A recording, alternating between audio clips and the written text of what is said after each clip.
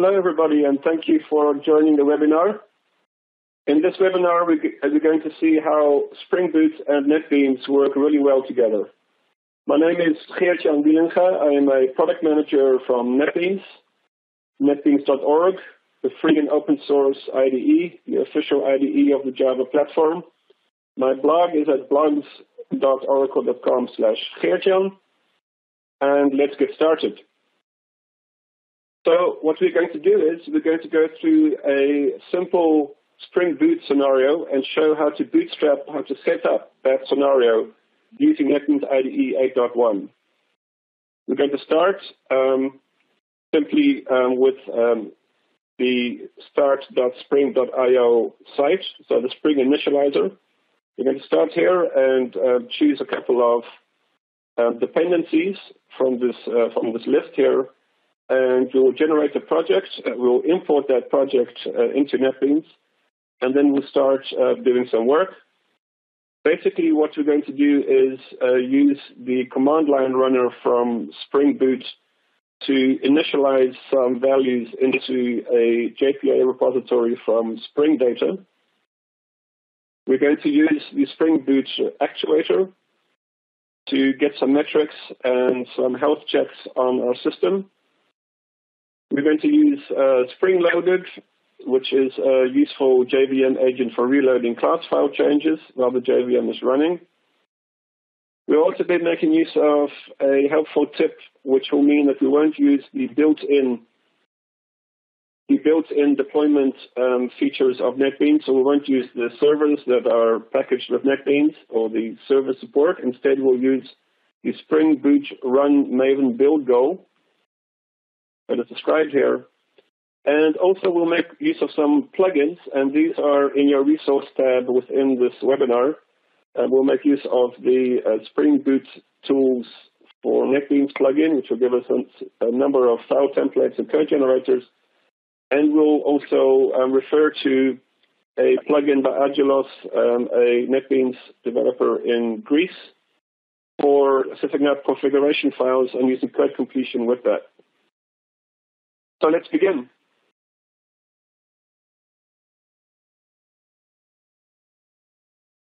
I'm now inside of NetBeans IDE. NetBeans IDE is free and open source. It is focused on being comprehensive. It is focused on letting you create useful applications right from the start without needing to install any kinds of plugins. You can see I can create Java applications, JavaFX, um, web applications, Java E applications, HTML5, JavaScript, Maven, I can create NetBeans modules, and there's a long list of sample applications for various technologies. I can open multiple projects at the same time, and um, there's all kinds of features that we'll look at in a bit more detail later. So let's get back um, to the Spring Initializer page and set up our application.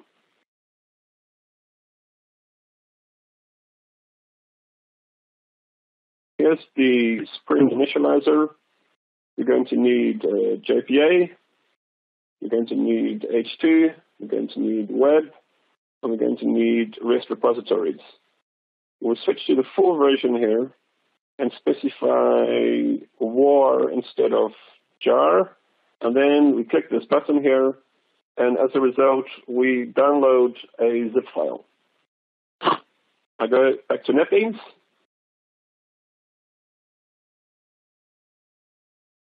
I import that zip file. I import project from zip. And I browse to my downloads folder where that zip file is found. And I'm going to put this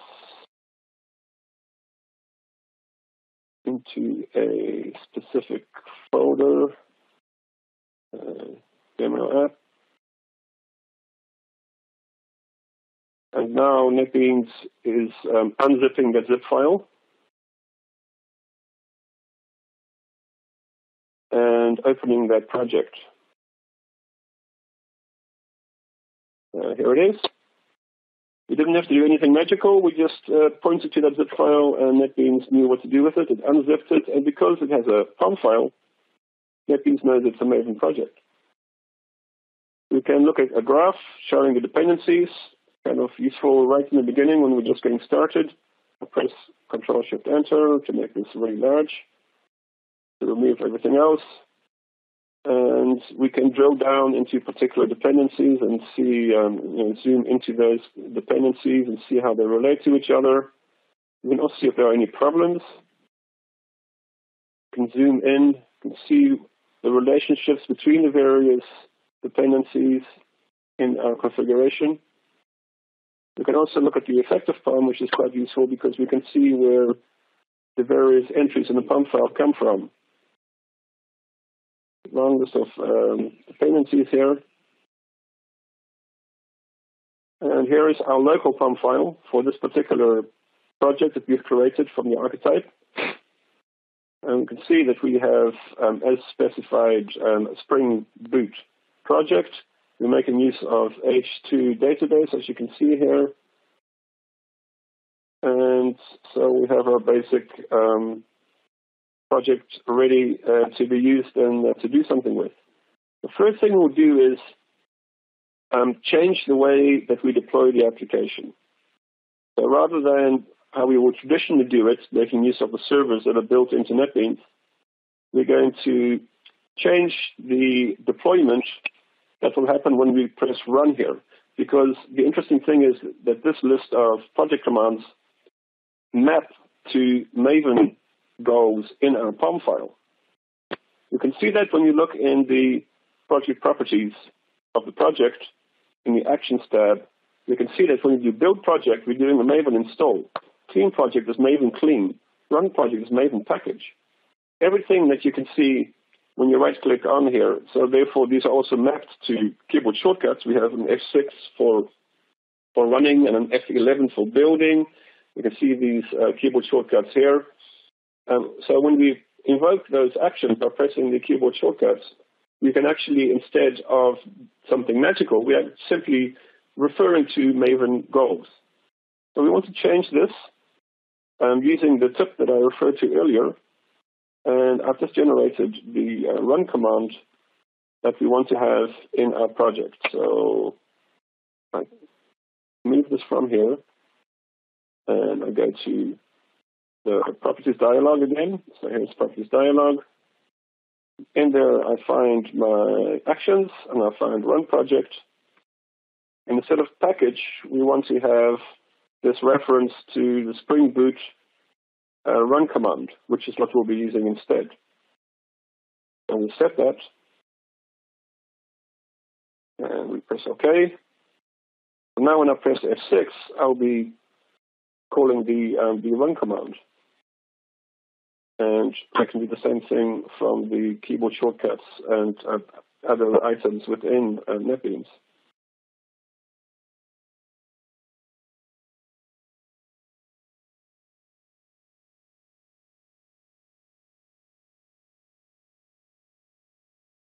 Okay, so we're, we're in NetBeans here. So now I've pressed F6 and I'm immediately asked uh, which server do we want to use. And we say here, ignore, because we don't want IDE managed deployment, so we don't want to use one of the available servers. We want to use the embedded Tomcat server instead, uh, provided by Spring Boot.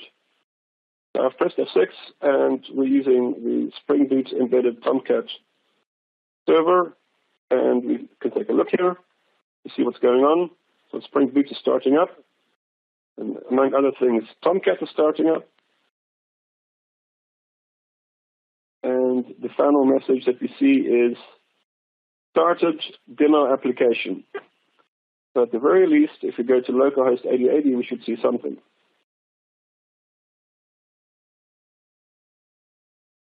Uh, let's go into the browser,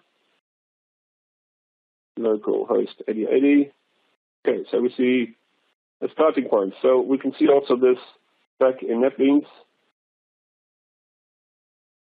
Um, that profile is one of the uh, endpoints that we can refer to. You can see here profile, you know, slash profile, slash repository. Well, let's add some more here. Let's add slash metrics and slash health. And we do that by means of Spring Boot Actuator. Uh, adding Spring Boot Actuator is really quite simple if you're using NetBeans. Um, We can search for dependencies. So I'm going to do that now. I can say add dependency, and I could search here for actuator, for example. And uh, you can see here various things come up. But um, there's, by the plugin that I've installed, the Spring Boot tools for NetBeans, I can do Alt Insert and then say here Spring Actuator and simply adds the dependency I need. If I use code completion here, by the way, on the, the version element, you can see that NetBeans shows me all the available versions for the dependency I'm using, which can, of course, be very useful to see whether I'm using the most recent uh, version or not. Also, Spring Boot itself is currently the latest version is 1.3.2. That's the one that I'm on. So I've added Spring Boot Actuator. What you're going to do is you're going to just stop um, our application and then just redeploy it. And it doesn't take much time. Doesn't really matter, um, this redeployment. It takes about, you know, 10 seconds or something for um, this for Spring Boot to uh, to start up via its own uh, run command, and including the embedded uh, Tomcat. So that's absolutely no problem at all. We get some additional um, endpoints now. You can see here metrics, actuator, dump, um, and there's also health, and there's trace. So let's go to the browser and try those. What you can also actually do is you can open the internal uh, web browser instead of switching out to um, to the external browser. So I'm going to say embedded WebKit browser, and then I'm going to open that browser. So here it is. And now we'll just type localhost 8080, and for example, health. Um, it's just FM 8080.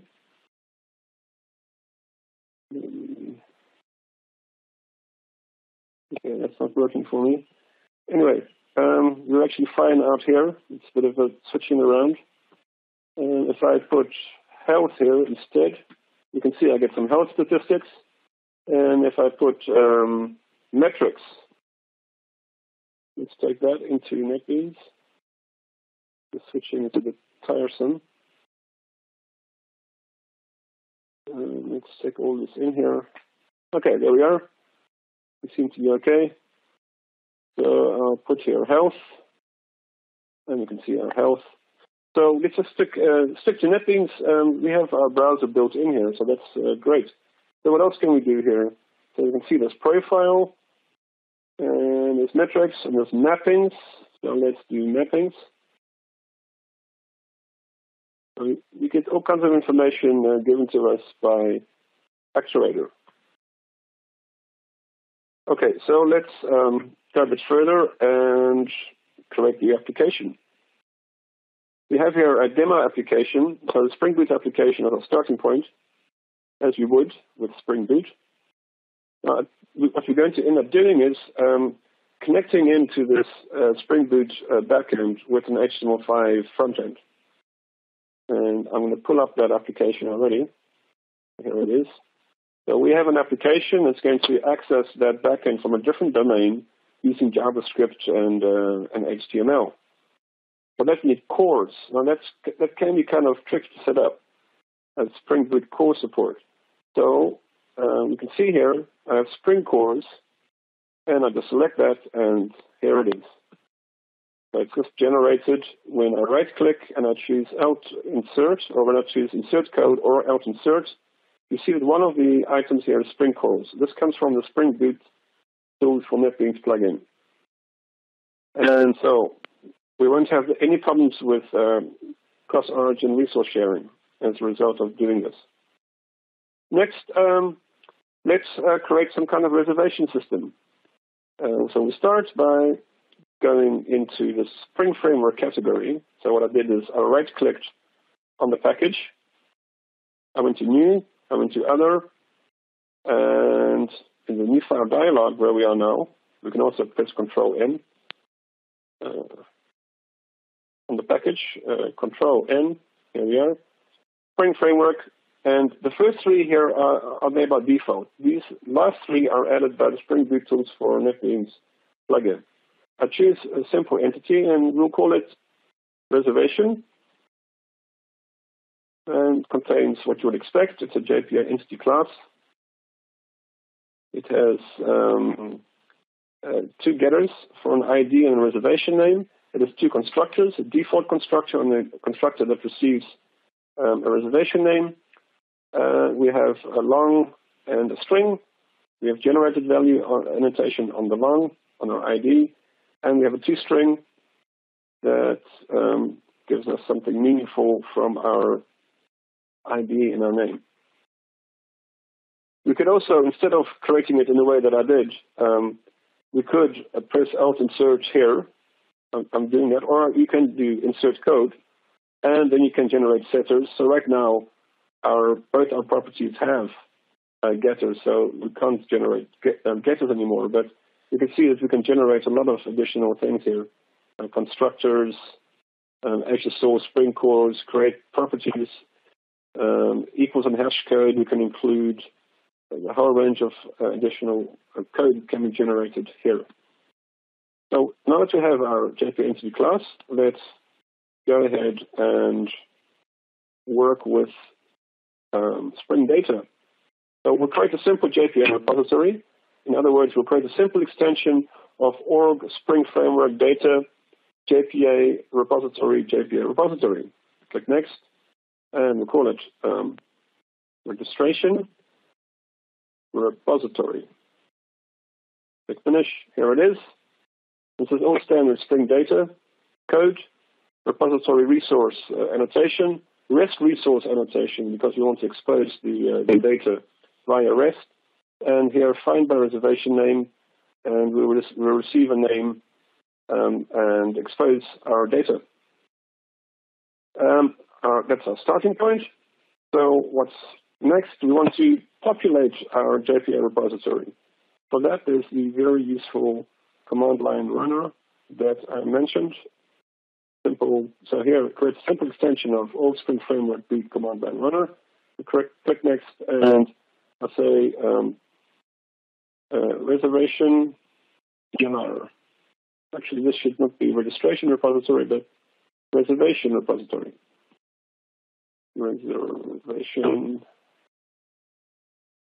repository, refactoring.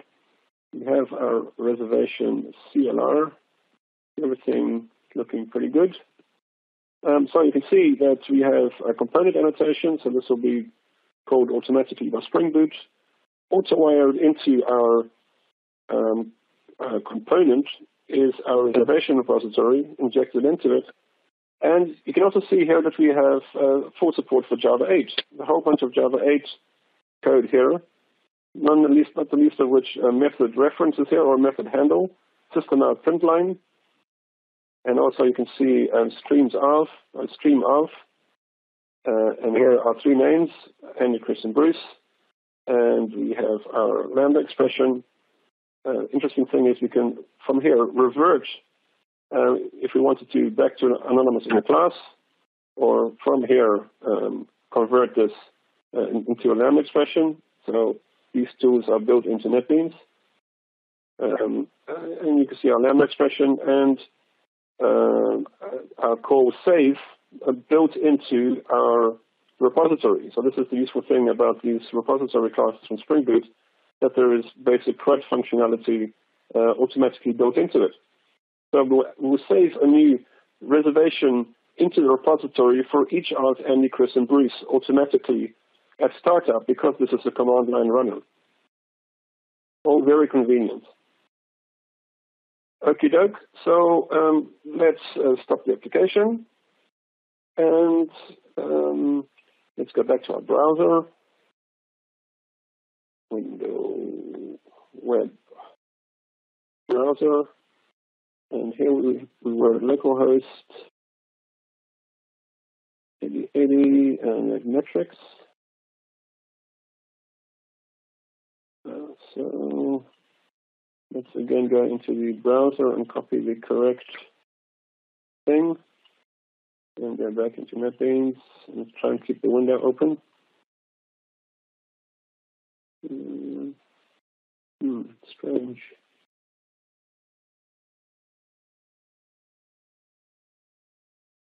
You might have to use the external browser after all. Maybe we should try 127. 7, 1. Well, no worries. You can use the external browser as we have been doing. Well, actually, no, we stopped our application. That's the reason why. Our application isn't running anymore. Okay, application isn't running anymore, so that makes sense why we're not seeing anything. So we're going to restart the application. And I'll do that by pressing F6 again. The application is restarted using our uh, built-in Spring Boot um, command. So the embedded Tomcat is going to start up again.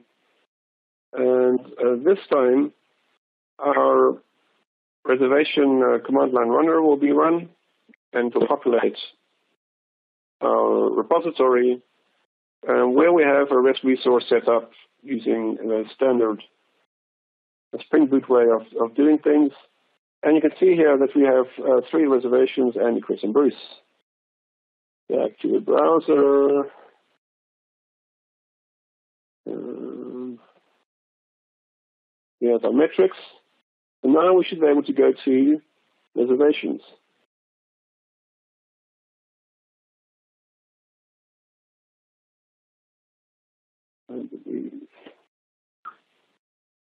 Okay. Back to the external browser. Instead of metrics, we want to see reservations. Okay, here are our reservations. You can see Andy, Chris, and Bruce, one, two, and three. And you could say one of them. So the first one is Andy. The second one is Chris. Okay. So I'm just going to copy this guy and get it back into NetBeans.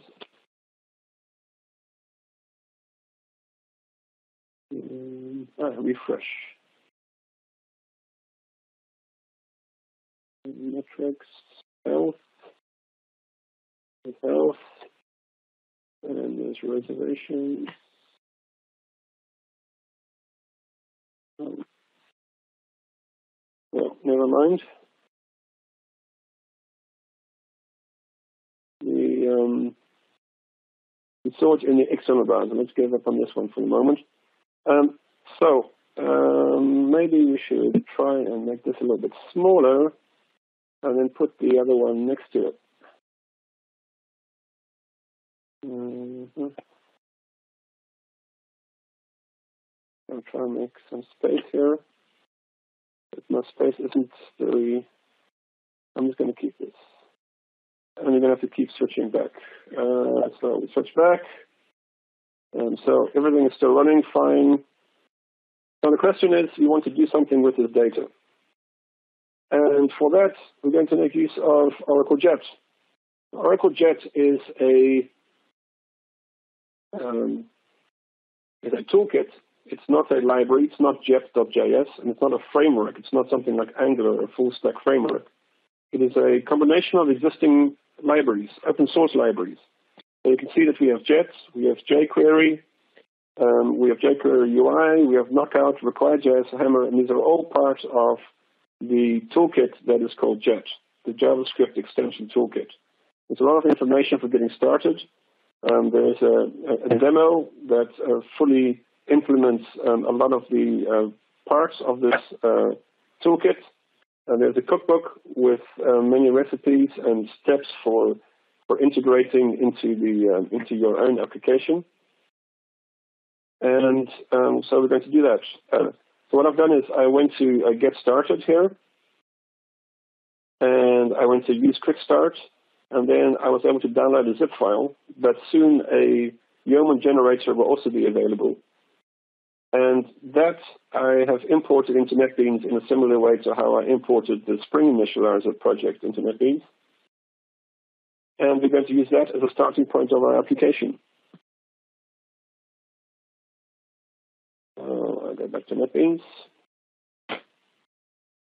And here it is. Now, um, I have a pure front-end application. You can see this JS here, which is uh, which contains Crossroads, promise, hammer, history, jQuery, signals, knockout, Oracle Jet, and require, which means that I can use all these libraries in my application. And it's in fact a require application. So require is used for modularity. You can see here a require entry point. And here there is um, a require uh, block, as you would always have in a require application. Uh, inside of our index page, we refer to that um, to that require uh, library. So I'm referring to the require library, and in my data main, I'm pointing to that main.js file. So this is the entry point into the application. Require is going to uh, be responsible for um, for loading the modules into the application. I'll delete everything around here except the basic essentials, and that is that here we are loading the module called home. And the module called home means, so OJ module is going to look inside of a folder called view models for a file called home.js. So I'll just delete the other ones just to avoid confusion. Home.js, and it will automatically look inside the folder called views for a file called home.html. So both of those um, are here. So you can see OJ table. I have a table here, and on the JavaScript side, I'm using a, a getJSON call to that uh, URL, reservations, localhost 8080 slash reservations, doing a bit of parsing of the, uh, of the payload, and then we're adding, um, for each reservation name that we find, we're pushing that into this um, observable array from Knockout. So Knockout will take care of observing changes. We'll build a data source uh, object here, you see here, um, from that observable array um, with its uh, with an ID attribute set uh, to ID. And then on the home HTML side, we refer to the data source. So you can see there's a reference to the data source property that we have defined um, inside of home.js and filled inside of home.js. So let's run the application, which means just opening it in the browser. When you do that, you can see our Andy, Chris, and Bruce, and there's sorting built in and all the kinds of functionality you would expect in a table. Um, so that's basically um, a front end on top of our um, Spring Boot backend. So we started with, with Spring Boot we didn't add all that much code ourselves. Pretty much everything was generated. We generated the um, the reservation entity, which has an ID and a reservation name. We generated the reservation command line runner, which fills our JPA repository that we have here with some initial content which is exposed as a REST resource, which enables us to get hold of it um, in our JavaScript. It could be any JavaScript, or it could be any Java, it could be any front end at all. But in this case, we're getting hold of it via a um, block, which means that we are in a require module, and this uh, require module is part of a JET application, and it's a JET application because it contains a folder called OJ, inside of which we have a long list of JET components. These are all jQuery UI components that you can find in the cookbook. So back in the cookbook, so once you're um, in the cookbook, you can see that what I have used is a table Here's a table. Uh, OJ table. There's a reference here to OJ table. And this is, this is how Knockout expresses its components. And on the uh, JavaScript side is how the content of a table is built up. And I've done that, but much cooler components exist. For example, uh, charts and maps and gauges and timelines and these kinds of uh, components that you can use for your applications. Um, so I've used the OJ table, and here it is. I'm using that inside of the um, application, but there's a lot more that we could uh, that you could add to it. So let's add another module here, um, and we call this. Um, uh, let's imagine that uh, reservation duration. Reservation duration. And inside of reservation duration, uh, we might want to have a bar chart. And here is a bar chart, which is as simple to create as this. So I copy from here, and I paste that into the HTML side. I go back there and I paste the content of this function. So we don't need a require block here because we're inside of a define block already. Um, so I copy this content, uh, paste it into the JavaScript side of our reservation duration. And so you can see here all these various uh, properties are defined. And here is our data as well. I need to make sure of one thing, and that is that the chart is actually loaded. So only those components that we decide to load are the ones that will be loaded. So OJS and OJ chart. You also see the, the um, code completion here. And similarly, here, you can see all the available uh, JET components with the documentation. And also, when you look at the properties of each of the components, you can see the related code completion and also the documentation for the related properties. So I've included the chart. So let's take another look at our application. Back in the browser. Uh, we haven't loaded reservation duration yet. I'm just going to close this. So it will open automatically when we redeploy the application. And we have reservation duration, but inside of the index page, we need to refer to it so that it will be loaded. So here is reservation duration. And you run the application again and see the charts as well as our table. So we could hook these together and um, we can add all kinds of components and do so very quickly. Uh, back in NetBeans, we can use um, layout components. So here's the palette, docket.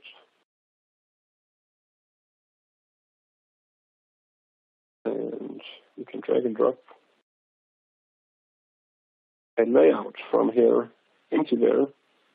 There's a number of different ways in which you can express your layout in JET, but here is one of them. So we have um, home. So we put this one here. And we also have a reservation duration. And you might want a footer of some kind. We don't have yet, so we'll create it. And you can see here that this points to, this is name and this is view name. So view name means it will only look for an HTML file, and name means it will look for a JavaScript file as well as an HTML file. And you can see also that here are CSS classes, extra large, large, and small. So depending on the screen size, there'll be a resizing done automatically. We'll add a, um, uh, home should be home in here, not a variable. And we need to have a footer HTML. So let's bring out these guys again and put in here a footer. This footer HTML. Uh, hello from footer. So run the application.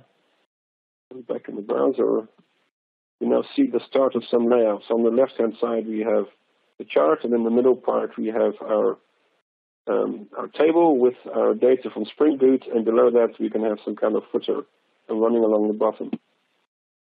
So those are the basic um, ideas of um, of Jet, and it, you can see it integrates very well with uh, with Spring Boot. It's not much work to uh, to set up, and it's all free and um, available from the Oracle Jet site based on open source libraries and those JET components will very soon be open sourced as well. A lot of examples, a lot of resources, and a lot of support for this uh, front end. It's pure front end technology. Forum, FAQ, blogs, a development guide, a lot of documentation, and so on. So a nice and simple way to create front ends for um, these kinds of back end uh, applications. So um, to recap where we are, um, we're doing the webinar about Spring Boot and NetBeans. Um, what we've done is we started um, with the main focus of the webinar to look at uh, Spring Boot. And a wonderful starting point is the Spring Initializr, start with spring.io, where you can specify which dependencies you want to have, what kind of tools you want to use. And we specify that for packaging, we want to use a WAR file we downloaded that. We um, imported it into NetBeans. We're using a JPA entity class, a command line runner for populating a Spring Data JPA repository. We are using a Spring Boot actuator to get some metrics and some health statistics and that kind of information about our system and our environment. Spring Loaded we haven't used yet. So back inside of NetBeans, we go into our, our, our first our first uh, undeploy the project. It's not running anymore right now. Clear everything here. Look at the POM file. And in the same way that we added Spring Actuator, we can also use the Spring Boot tools for NetBeans uh, plugin to generate uh, Spring Loaded code. So I'm pressing Alt Insert, or you can right click and choose insert code and choose spring loaded. Here it is. So that's all, it's, that's all that, that you need to do. Um, we, we are setting this as a dependency of the Spring Boot Maven plugin. And you will see the difference immediately. So once we press F6 again to, to deploy the application, we'll take a look and we should see a notification from Spring Loaded. Here, attaching agents. There you go. That's um, the important information here. So the agent is being attached here. Um, and it's done simply by adding that, um, that dependency. Okay, so we've included um, Spring Loaded as well, so it will be it will be watching for changes and updating uh, as needed. Uh, back in the browser. Um, so Instead of using uh, the built-in uh, server integration on NetBeans, what we're doing is we're using Spring Boot Run Maven build Go, and we've overridden the um, Run project to not do a Maven package, but to use this instead. And of course, um, we're doing all of this in NetBeans IDE, which is free and open source. Um, there's a lot of plugins. It has a large community. People everywhere are using it great Java support, um, efficient project management, rapid user interface development, debugger and profiler built in, HTML5, uh, JavaScript built in. Click on NetBeans IDE here and you can see all the different um, high-level features with links to the related tutorials and so on. So Java on the server, you can read all about the different server support, uh, and uh, you can see, you read here about Spring support. You can also um, follow tutorials that have been written about uh, NetBeans in combination with Spring. And with the, this is the official support built into NetBeans. You can really get your um, your road into Spring um, started with um, NetBeans itself, plus its documentation and tutorials. There is a um, roadmap, a publicly available roadmap, NetBeans Org Community Releases Roadmap, where you can see um, the latest developments and um, the upcoming features. And currently, we're on NetBeans IDE 8.1. So you can go to this uh, Learn More link here, and you'll see information about the newest features, including Node.js application development. Um, so if you want to do Node on the back end um, in NetBeans, it's as simple as going here and saying that you want Node. Let's say I want to create a, a server. Uh, my, we'll call it awesome server. Let's create a server in Node. How much work is that? And it's not much work at all. Node HTTP. And here we have a server. The interesting thing is that you can do code completion within the require statement of Node, and you will see that you can um, see the available modules, but also the related documentation below that. And right now we're using HTTP, so there's documentation for it. When you press Control space on HTTP, you can see um, the method calls from the module that we're currently using. So right now we're using HTTP. So here's http.js.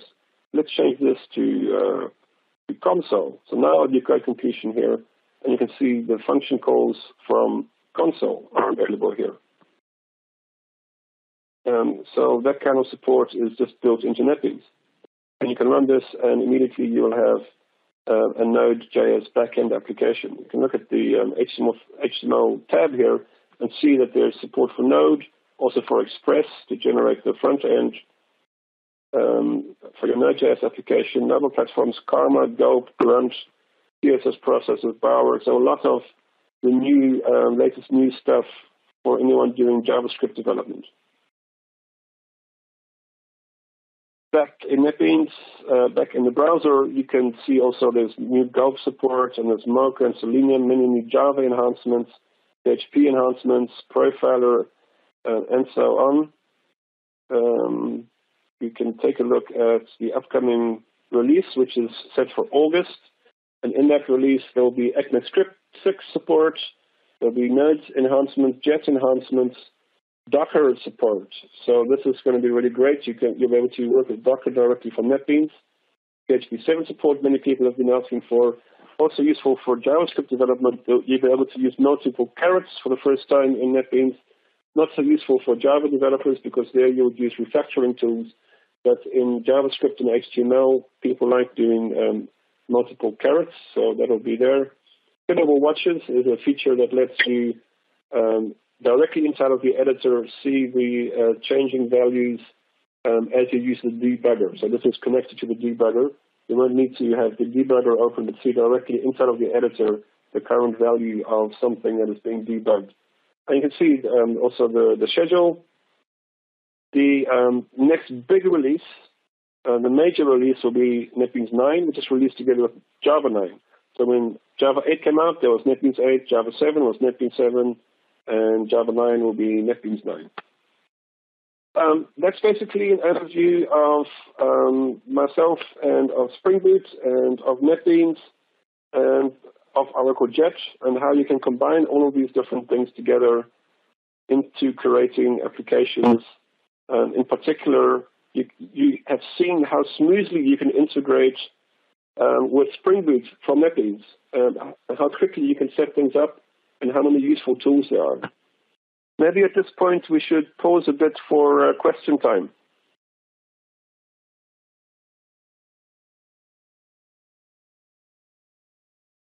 Are there any questions?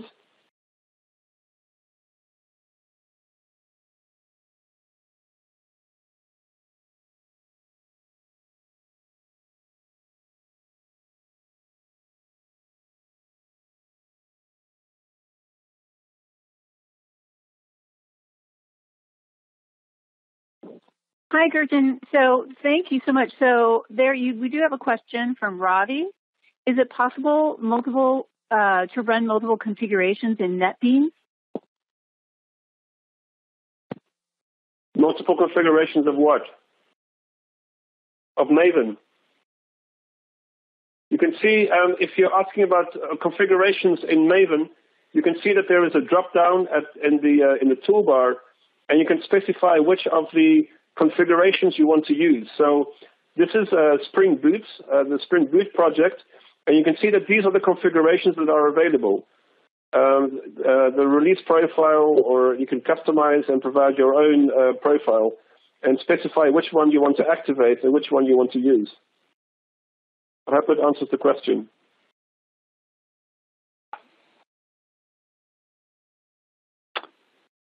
Yeah, I think that uh, currently was the only um, question in queue here, John. Uh, is is there anything else maybe um, that uh, is kind of going on in NetBeans that you would like to talk about?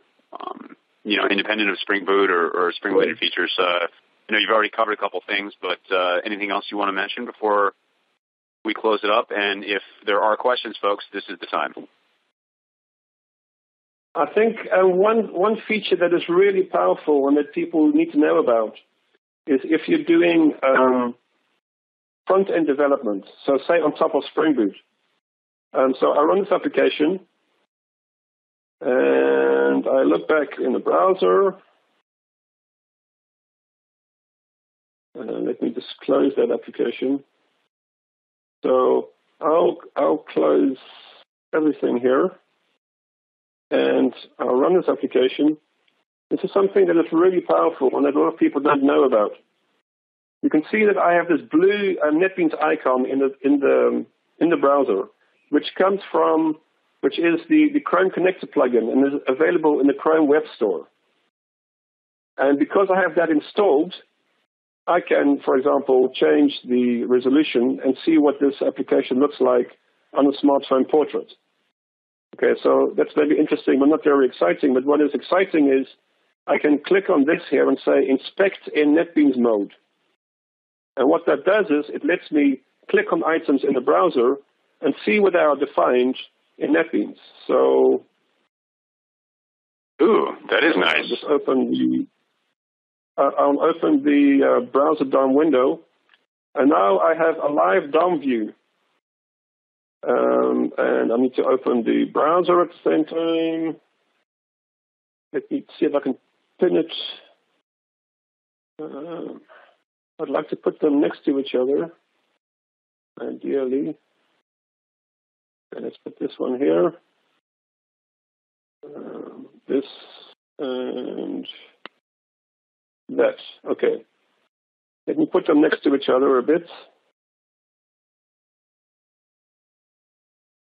So here they are. And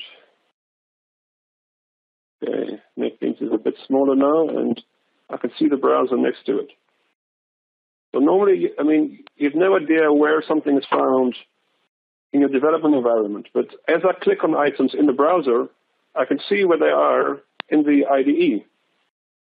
So the uh, footer, for example, I can click from here and go to the source, and there is the footer. So let me um, type something here. Hello world. That there. I can see this up here. I can click on, on, on items in the browser. Uh, and back in the IDE, uh, see those items are found. This is pretty slick John. A lot of our Spring Boot users, you know, uh, do you choose to use JavaScript on the front end. Um, so this is pretty cool. Yeah. So so let, let so let let me let's imagine that we don't have um, a JET application, but just a simple, simple, normal, standard uh, JavaScript application. Um, I've, I've, not added anything to it. And so I'll show you just from the very basics how that how it works, so why it's so powerful. So I run this uh, into the uh, into the Chrome browser. Starts up and so right now we don't have very much content. I'll, I'll add a couple more items in here. I'll say inspect a NetBeans mode. And now you can see, I can see exactly which, which item, um, um, which item I, I am selecting in the browser. And so I found the one that I'm on, so I can go to the source, and there it is. So let's say I want to change this to H1. So this is now H1. I didn't refresh the browser. The browser automatically refreshes itself. Now I'll add a style sheet. So let's add a style sheet. I'll call it styles. And let me drag and drop that style sheet into my uh, application, or into my website. So I've included the style sheet, and in the style sheet, I'm now going to say, um, uh, I think color, color is red for H1. You can see immediately the browser is updated. So I can change it to something different. I haven't refreshed the browser. I haven't even pressed save. I'm not pressing save. I'm just changing and tweaking. And once I'm happy with it, then I'll save. But until I do that, um, it will just uh, automatically keep track of what what changes I've made. Um, so there's also a related to that a CSS styles window. So I can click on this and I can see, okay, here is the style, and I can change the style directly inside of NetBeans. And you can see that it updates itself in the browser. I didn't press refresh anywhere. I can I can change that H1 to whatever I like and automatically see the change back in the browser. I can jump from here into the source, and there is my source. What I can also do is I can say I'm using Chrome Developer Tools. So I'm going to Chrome Developer Tools. Um, you will see that there is a tab here, NetBeans, which means any changes I make in CDT will automatically be saved into my file in NetBeans. I won't need to copy and paste from CDT into my editor. And all of this is possible because of one plugin that you can install, which is the um, NetBeans connector plugin, uh, which is on the Chrome App Store. Excellent. Got some great oh, reviews. Hey, uh, here, John. Um, there was one other, there was one other question um, from uh, Edwin uh, Lopez. He, he was uh, curious. He says one of his approaches is kind of, you know, he'll create his HTML5 app using Grunt, and then once he builds that with Grunt, he's going to pack it into the war. And he's curious if there's a way to automate that uh, within NetBeans. Sure. I mean, there's this Grunt support um, baked into NetBeans, so um, I can add a grunt file. Uh, so let's first add a grunt file. Um, new file, uh, grunt. There's my grunt file. And finish. And there it is. Here's my grunt file. So now I can add uh, content to that. And we'll see that here's grunt. So the cool thing is, when I do build project on my project, I can call a, um, a task from my grunt file. And when I run my project, so when I do build, I can create a, a task in here that, uh, that builds my project and it creates a WAR file or whatever. And then whenever I do build here or when I press a keyboard shortcut, that task in my grunt file will be run. Awesome. In the same, um, I just want to the same way there's support for, in the, in the same way, there's support for Gulp um, as well, and um, and, and Bower and, and similar uh, new features. Cool. Thanks, John. Um, I, I, just also want to direct people's attention to the resource tab uh, in their user interface, uh, which should be down on the bottom um, of the webinar interface. If you click on the resources tab, uh, there are some follow-ups uh, where you can obviously go download, download NetBeans um, and uh, a couple of other things. Um, I think probably some of the plugins that Geert, John's been talking about. Yes. Um, you want to you want to maybe do a, a very because we got to wrap this up. Um, do you do you mind doing a very quick uh, kind of um, you know what what's in the resource tab and explain kind of what's there for people to click on and, and take us to our next steps? Yeah. So the next steps for anyone watching uh, would be to go to netbeans.org and click on the downloaded tab. And uh, probably you would want to choose the Java EE distribution, which lets you do uh, development with Spring Boot, as well as HTML5 uh, and JavaScript on the front end. Um, and uh, to use that plugin, so in the resources tab, you'll see a link to the Spring Boot tools for NetBeans plugin, which is um, on the plugin portal as well. Um, so, and also the there's another plugin reference there for the Spring um, configuration. Um, if I go to my plugins, Spring Spring Boot tools for NetBeans. Um, this page um, provides a link where you can download um, the NBM um, file. And once you click on this download uh, uh, button, you will go into NetBeans and you will go to Tools and Plugins and install that NBM file using the Downloaded tab to do so. And then you will have all these templates and and um, and code generators that are used for um, for creating the Spring Boot files, for example. These Java classes come from that uh, template, as well as that core support. Very very powerful um, and a typical stumbling block that you don't know how to set up CORS. So you can see here that Spring CORS just generates all of this code that you see here. If anyone has any feedback or has any features they want to have added to the Spring Boot Tools for NetBeans plugin, please let me know. It's simply available on GitHub. So uh, another action item would be to fork my um, my GitHub repository. Uh, on GitHub, you will find uh, Spring Boot tools for NetBeans. Please do fork it uh, and also put in requests for new features. If you're missing anything, you, you, you're using Spring Boot with NetBeans and you're frustrated by anything, just go in here and file an issue, and uh, we'll work on, um, on making you very happy with Spring Boot and NetBeans. Awesome. Thank you so much, John. Appreciate it. Um, it's great. And uh, um, uh, it, the same guy, uh, Edwin, was curious about uh, JHipster support. Uh, we're running out of time, so if we could just give that like a simple binary yes or no answer and then move on, that would be great. Well, anything that supports Maven um, is supported by NetBeans, and JHipster is built on Spring Boot, which supports Maven, so you can open that project into NetBeans for sure. So uh, if Maven is at, at the base of it, all Gradle, NetBeans also supports Gradle. Um, NetBeans can open Gradle projects in the same way. You need the Gradle plugin for that. But JHipster will work out of the box on NetBeans too. Cool. Cool. Okay. I, I think probably what he was getting at is, uh, do you think you have any plans to, to tool specifically for JHipster as opposed to be compatible with? Uh, if I could read in between the oh, lines of his question, but sure. Um, I, am going to be exploring JHipster. I know Matt Raible, um, and uh, it's on my list of to-dos to take a look, but it should be a simple question of just opening a, a JHipster project and running it. I'm not sure that you should need any special tools to do that, but right, I'll take a right. look soon. Sure, yeah. Um, I'd be happy to connect you too with uh, Julien Dubois if um, if if that would be helpful.